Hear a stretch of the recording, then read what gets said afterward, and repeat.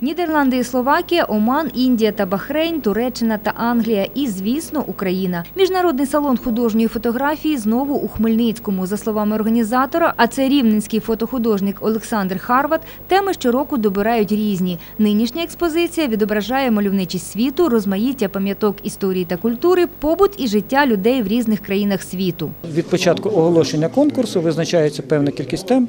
Я беру завжди шість тем: цивільна тема, е, природа,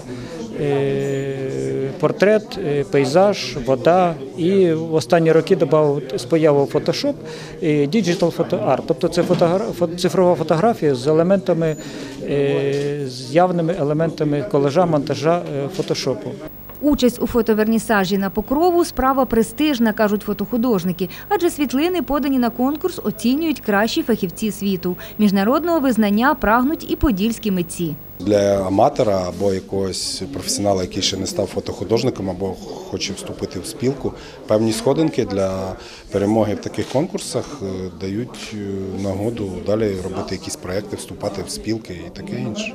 Тобто це певний і творчий зріст, і можливість трапити в каталог. Уявіть, що всі учасники, е, які перемогли, нагороджені роботи потрапляють в каталог. Потім цей каталог роз'їжджається всіми світами. Оцей роз'їдеться 17 країнами. І там хтось буде дивитись там на роботу Олександра Солінцова, до прикладу, з Хмельницького.